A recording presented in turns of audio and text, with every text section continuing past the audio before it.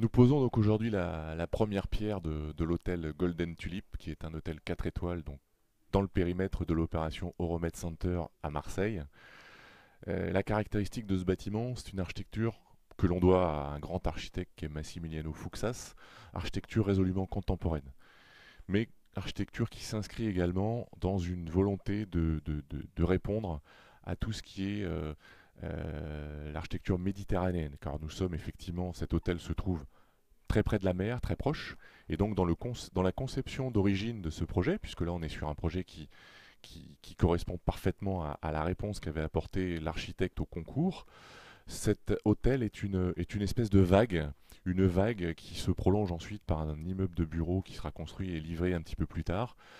une vague avec des formes très arrondies, très souples, qui permet de, donner une symbolique euh, méditerranéenne, une symbolique euh, euh, marseillaise à cet hôtel, puisque le coloris, les façades seront traitées dans un matériau qui est un, un alucobon clair, blanc, presque blanc, qui donne à cet immeuble une minéralité qui rappelle les tonalités de la ville de Marseille. Marseille est une ville assez blanche, à roches blanches, avec euh, des ciels souvent très bleus, donc des contrastes très importants. Et cet hôtel, cette architecture d'hôtel, répond à cette euh, volonté de, donner à,